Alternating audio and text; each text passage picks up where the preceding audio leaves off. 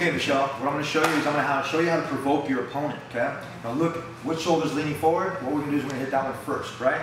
Watch what happens when you hit it. My other one turns, right? Right. Hit that one next. Oh man, all right, so I straightened out, right? And my hands are still not here. Watch one more time, and I want you to add a head slap after that. Ready? Go. Boom. Other side, boom, and then watch. Boom, you get the snap down, right? So look, there's two different things I can do. I can A, go right here after your leg, which in turn, just step back. Boom, I missed it, come back.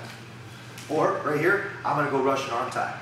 I don't like this hanging of my head, so I'm gonna go here. I'm gonna Russian arm tie. Hmm. Now, if you guys that are at home trying to figure out what a Russian arm tie is, I'll show you right now. Michelle reaches up for my head, left hand.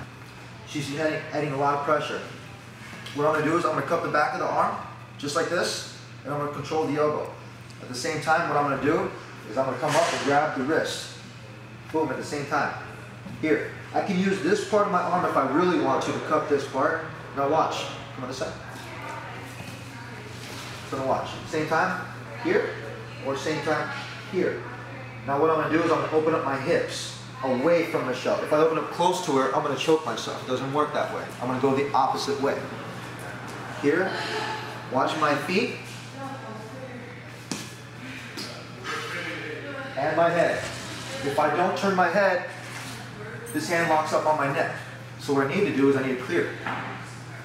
The hand actually clears out. But with the aid of my hands, now I have control. This right here is a Russian arm tie, wrist control. When I pull it down like this, I'm gonna pull it back to my stomach. She's gonna come back into me.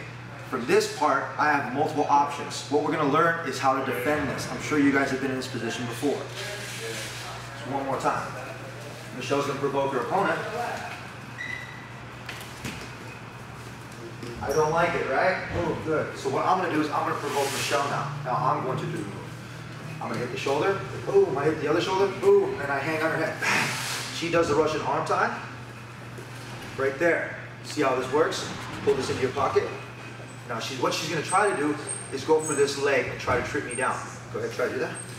I'm gonna clear this leg out, see? And look, she can go for a knee pick here, so I need to bend more. Take your hand, make a V, like this, or a duck, go to a neck. And look at, see how the back of my palm, does this kick out? I'm gonna kick out Michelle's neck, and I'm gonna use my thumb and my hand to control her neck. As I do this, I'm gonna try to straighten out my hand. Circle towards the right, and what she's gonna try to do is circle towards me. See how this works? Boom, one more time, and here we go. This is where the move comes in. This is the fun part, this is the Taz spin. This is actually something I've been working on for a long time. This is my move. This is a counter defense, and watch what I do. I'm gonna turn thumb down. As I take thumb down, look at how my feet are. If you're this way, it doesn't matter. You can shuffle your feet. I have this facade that I'm painting in front right here. I can move behind it. Just like this, okay? We call that a drop step. Now I'm here. Let's just say I'm this way and I circled out. I'm gonna take my left hand and put it in my back pocket as I step in left foot. If I step in too close to Michelle, too much. I need to make sure I stay behind this facade. Look at, she's got full range of my arm, right? Scary, right? But watch what happens when I turn and I twist and I level change. And I put it in my back pocket, she falls out. My right hand is gonna twist the mat, almost like I'm breakdancing. And look, watch my back foot, it's gonna spin around like a dragon tail. By this time, if I see this, look at, I have enough range and gap right here and a delay in time where my hands can clear it. Now look, what makes more sense? My left hand come here or my right inside? Right inside.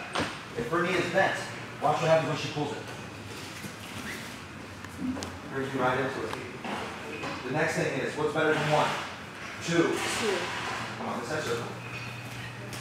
When I get to this spot, and I'm here, watch. Sprawl down.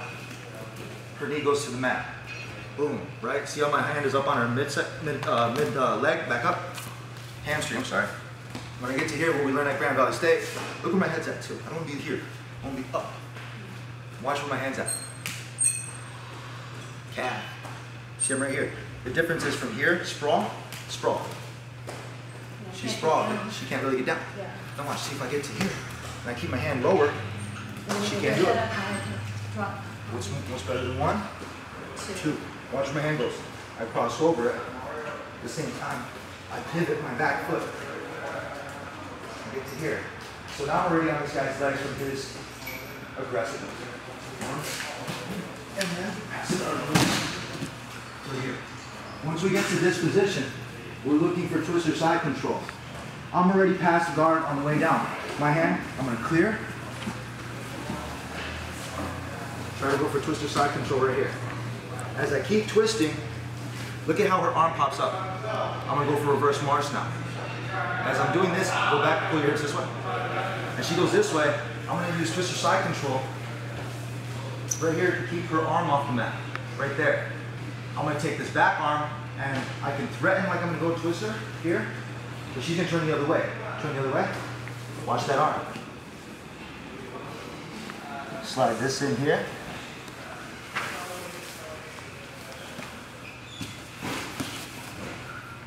Marce, or into guard situation. She sits up.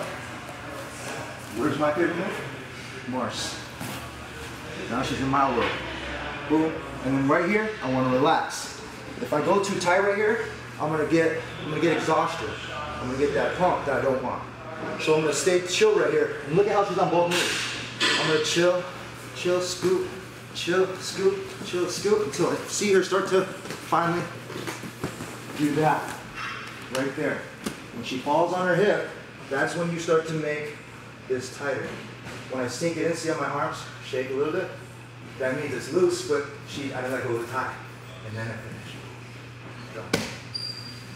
Nice. Let's do it now. We'll sleep. For the cycle, you're going to notice that Tony and I aren't simulating so much of an MMA environment, but more a grappling wrestling environment. Doesn't matter, all of Tony's flashy moves here are to check my movement and distance, so he can try to set up a takedown. Since I'm going up against a great wrestler, I'm not going to be throwing too many kicks anyway, so Tony only has to worry about my hands. That means he's using a lot of level changes and head movement. You'll notice here that Tony tries his own Russian arm tie. Another way to defend this, one that we didn't explore too much in the walkthrough, is to disrupt the arm tie by bracing against your opponent's neck with your free arm and pulling down. This helps keep the arm caught in the arm tie from being extended, keeps me from getting pulled off balance, and keeps Tony from being able to close distance to take me down. All of this combined with the fact that Tony's feet aren't in the best position for leverage tells you that Tony should abandon this Russian arm tie, which is what he does. When Tony grabs my head, I've got to act quickly because I'm in a bad position. Tony's lead foot is inside mine, which means he can set up all kinds of leg sweeps, throws, and takedowns. Plus, his left hand is free. He can get off some really powerful uppercuts or elbow strikes. This is where the Russian arm tie, for me, will come in handy and help me regain control. Notice the mechanics for a good Russian arm tie. With my right hand, I've gripped Tony's wrist from underneath and drawn it into my hip that's opening up away from Tony. My left hand has cupped his upper right arm and pulled it close to my chest. My shoulder is driving forward and down. All of these factors, opening my hips and pivoting away, pulling Tony's wrist towards my far hip, and isolating his upper arm and driving it down, immediately helps me escape my predicament and gives me leverage. Now I'm the one who has the sweep and takedown openings. But not for long, because as soon as Tony feels that pressure, he goes for the Tasmanian Devil Spin. This is such a great counter because if you hit it right, you end up in a great position for a fast, powerful takedown that easily transitions to a dominant side position. As we run it back and forth from two angles, you can see that the one big flaw in my Russian arm tie is that Tony's right thumb is pointing down, not up. You need to have your thumb pointing down to pull the spin off quickly. As Tony spins, he's driving his free hand either to the floor, or if you want to do it really fast, as he does, directly behind my left calf. At the same time, his right arm in the arm tie slides out, almost like a limp arm escape. Tony continues to spin and change levels, and by the time Tony hits the intermediate point of the Tasmanian Devil, I'm basically draped over his back. He's got deep penetration to take me down. His right hand, the one that was in the arm tie, is now free to grab my left calf and prevent me from sprawling. His left hand, which was bracing my left calf during the spin, has now transferred over to my right leg to immobilize it in the same way. Tony's head is up and hard against my ribcage. Even if I was fast enough to try a guillotine with my left arm, I couldn't pull it off because of his leg control. He's got me in a very weak position. And remember, this is all happening very fast. Now, as Tony drives me to his left side and not straight back, he stays close to me, so when I go down, he's already on top of me, past my legs and guard. I can respond with a headlock to keep him from posting up and punching, but it's still quite easy for him to move into twister side control by simply opening up his right leg and sitting off to the side of me. We've moved over for a better camera position. Now you may remember the twister side control from our episode with Eddie Bravo, and we've got the same basic characteristics here. Tony's left knee and arm are against my hips to immobilize me. His own hips up high on my chest and right foot working as a driving base to keep pressure on the top of me. But instead of going to mount like Eddie, Tony wants to set me up for the reverse D'Arce choke named after Joe D'Arce, which is also called the Marce choke, named after Mark Laimon. However you want to call it, Tony needs me to turn my hips away from him to start it. Tony even helps me along when I set up guard pass protection with my legs. As I'm pushed over on my side, he slides up into a modified north-south position and at the same time slides the left arm that was isolating my far hip under my chin to end up shooting past my left shoulder. Now, most advanced folks are going to see the choke already, but it's important to highlight the setup. When Tony has me in twister side control, he needs at a minimum for my right arm to be above him meaning he can't be laying on it in side control and it definitely can't be below him or near my side. As he pushes me to the side and transitions to north-south, he has to keep pushing that arm up near my head. You'll sometimes hear this move referred to as the can crusher. My arm has got to be up near my head, so when Tony snakes his far side arm under my chin, he can also collect that arm.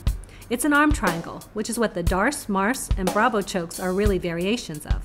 Now I immediately turn to my knees to drive out of the choke, which rotates Tony to his back.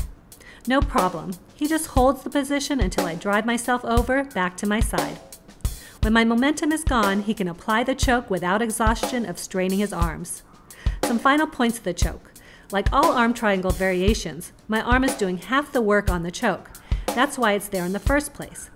Tony's not trying to squeeze my head so much, meaning he's not squeezing his arms towards each other to crush my head or my neck. Instead, he's trying to keep his arms tight while collapsing down in his center. That's where his core strength is, not in the lateral squeezing you do with the arms. That's why patience is required with arm triangles. They're blood chokes, and strength doesn't get the tap so much as good positioning and using your core strength. And tap I do. Remember, there's also the twister variation that we're gonna drop soon. As always, thanks to Fighter Girl, and remember our new sponsor, Throwdown. See you next time on the hooks. Sink 'em in.